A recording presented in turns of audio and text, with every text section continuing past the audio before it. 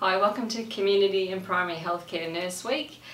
My name is Rachel Fishlock. I'm the Aged Care Assessment Manager at Ballarat Health Services and currently Acting Director of Community Programs. I'm here today talking to Doff Kemp. Doff, you've had a working career of 35 plus years. I have. Correct? Indeed.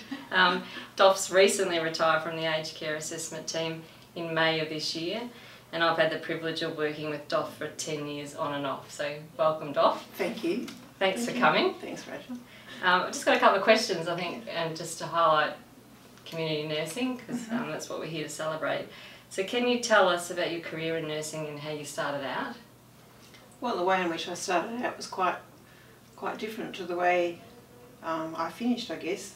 But um, I, I actually trained, I did a general nurses training at the Royal Children's Hospital in Melbourne. So even though I did three years at, at the Children's and six months at the Melbourne, I was qualified as a generally trained nurse. So it was a bit of an unusual situation and you know different to other RNs, I guess. Um, and I worked in paediatrics for 10 years and loved it. And when I had my own children, I suddenly couldn't work with children, with ill, dying children anymore. So I had to think about what, what I was going to do. Um, I was always interested in community work. I went to TAFE and did a welfare course, and at the end of the welfare course, there was a um, six months post basic gerontic course here at Queen Elizabeth Centre, and I did that, which I thoroughly enjoyed, and that really was the start of my introduction to aged care Mhm. and community nursing. So for a number of years I worked as what was called a welfare nurse. So in those days there were social workers employed by hospitals, but not actually many in this hospital. And so we covered you know, a pretty broad range during that time. Um, and then I became a community nurse as part of the aged care assessment team Mhm. as time went by. Yeah. Mhm. So you started I started. babies? Yeah, I did. and you end up probably assessing a 100 plus year old. yes. But I guess that, you know, some people would say, oh, you know, did it feel a bit the same? And I said, look, I wish, you know, I wish it was the same, but it was so much more tricky, of course. Yes. Because, you know, so much, very, very different, Different, really, yeah. very different. So do you have a specific memory of a time when you helped someone in the community? Well, in those days, I guess there weren't a lot of other um, health professionals working in the community, so nurses were pretty, you know, had to approach from a pretty broad perspective. And um, I do remember um, that I was working um, with helping discharge patients, Yeah. and um, this particular elderly lady was all ready to go home. Everything was sort of set up at home, but she had no toilet. Her she'd had a porta potty, and the porta potty had become blocked a long time before, and that was the thing that was stopping her going home. So the medical staff, the other staff from the hospital were saying, well, you know, she can't go home, she hasn't got to go to toilet, hasn't got a toilet. She was terribly frustrated. So another community nurse and myself went out there with gowns and gloves and masks, and it was a big job. and I guess we had a lot of laughs. Actually, it was yeah. So I, re- I remember that quite distinctly. And she went home the next day, and it seemed like so easily solved. Yeah. That's amazing. That's, I can imagine you, Doff. um, so when did you know you wanted to be a community nurse? Oh, certainly when I was in paediatrics, I didn't have that feeling at all. Um, I think it was really when I came into the gerontic course. Yeah. Uh, and I'd always, and you know, the the welfare experience I had during the course I was doing at TAFE, that I, I just really became, you know, focusing. I, I was generally interested in what was happening in the community and families. And, So what were your aspirations at that time? um, When you were looking ahead to your career, did you? yeah, I, kn- I knew that I needed much more experience and I needed to go on different angles, which I did. Yeah. um, I, as time went on, you know, in the early days, people with dementia were it was it was a little bit regarded as it's just part of normal aging rather than Yeah. you know this is an illness. Um, so, and I didn't have much experience in that at all. So I decided that I wanted to become, you know, more informed on that. So I actually went sideways. You know, working in a big organisation, you have wonderful opportunities, and I went and became and um, coordinated a day respite program for people with dementia, and also I became really involved with carers, and I ran. In those days too, there was limited resources in the community, so I was very involved with the Alzheimer's Association and running um, education programs for carers, and you know, coordinated the carers group, and so um, so I did that for 10 years, part-time, Yeah. and part-time remaining as a community nurse. And then at the end of 10 years I went back into the community nursing role and I felt so much better informed and much, so much, you know, much, much bigger experience really. I'd had hands-on experience Yeah. and there's nothing quite like that. That life experience. Yeah. Um, and how did the nursing in the community impact your family life? Was it a positive experience? I know you've said that. Probably need to ask them.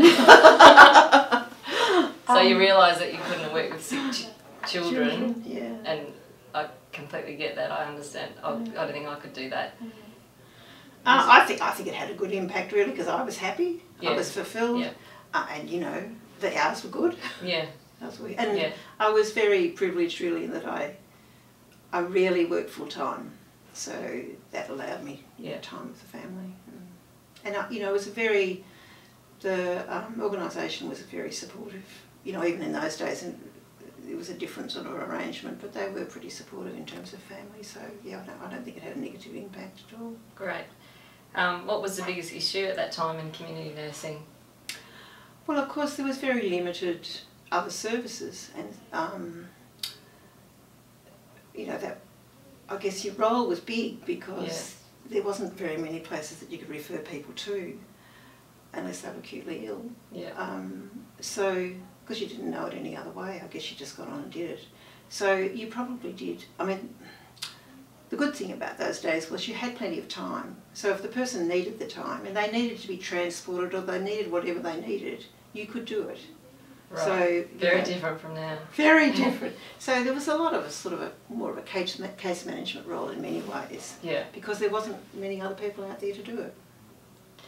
And um, in the last 10 years, what do you think are the major changes that you've seen in community nursing? Oh, enormous, enormous. Um, I guess from the specialised area that I was working in with aged care was the, the biggest thing was the time management and the, the amount of time you had to, um, you know, really be very careful with your time. Yeah. And the other thing, of course, that has happened is there's been huge development in other services. So you your role became more specifically nursing as opposed to the other things that you might The have done. general. Yeah. Yeah. So for me that was a bit hard. And I think Yeah. it was hard till the very end, to be honest. oh, you did well. so, what were the challenges? Um, what were the challenges then? Well, yeah, uh, yeah. I guess the the challenges were really getting support for people when they needed it. You know, if it was in home. I mean, you, you, some things you could get, but some things you get you couldn't get. Um, and I guess I'm talking about aged care. Well, I guess attitudes were very different in those days too. Yeah. So there was a bit of an attitude. You know, sh- she's 90 years old. She can't walk now, or she's never going to be able to walk because she's Yeah. 90. So there was a lot of that you had to work with. I guess now, knowing like that we've worked together, the challenges are that you see someone in desperate need and there's a wait. Indeed. It's out of your control. Indeed. And, and you know that they're going to plod along in the community. Absolutely. Yeah. Yeah, no, that mm. that's the biggest challenge that I had at the end, really. Yeah. So, what were your achievements? Oh, I don't know. To know. It's hard to be. Um, I think I think I learned. If I think about where I'd come from, I think my paediatric training was very good for me. I think because the paediatric training is, you have to have great attention to detail and you know, look for the signs. Yeah. You're not going to be Yeah. told things Yeah. necessarily. So that observation, you know, I think I learned to be observant. Um, and I think at the end, I feel like I had a fairly good understanding of older people living in the community in their family context. I mean, that's the that's the joy of community nursing. Really, is that you you have the privilege of being part of a family and giving them some time and helping them, you know, try and walk in their shoes a little way. Mm. Um, you can't you can't get that in a hospital situation because you don't have that. You know, you're not you're not seeing them in their own environment is so different from anything else. And being privileged to be there. Being privileged to be there, Yeah. and people are extraordinarily generous with their time and um, you know, being prepared to share their stories Yeah. In their darkest hours in their darkest hours. Absolutely. Mm. And you know, especially now, they're being asked the same questions by a lot of people. Unfortunately, that's supposed to change. May change. I don't know whether it will, but they do have to repeat the same story a lot. Mm. And I'm not sure that I'd be so gracious. Wait and see. Watch this space. So, what do you want to say to the future community nurses out there? Oh, what do I want to say to community nurses? Um, take time to listen to people, listen to the client and their family. Um, try and walk in their shoes for a little while. Try to get some understanding of what their reality is and what they want to do with it. Um, and very importantly, communication, you know, regardless of time, communication is still the most important thing, making sure that you do communicate with the right people. Mm. It's not as easy anymore, but, you know, with modern technology, on one hand, it might, you know, it, it could be too, so it doesn't have to be per, in person. Yeah. Um, but I think, um, and showing respect for the families that you meet. And lastly, what do you believe your legacy is? I have no idea. It's not for me to say, really. oh, I, I hope. Um, I don't know. Um, I just hope that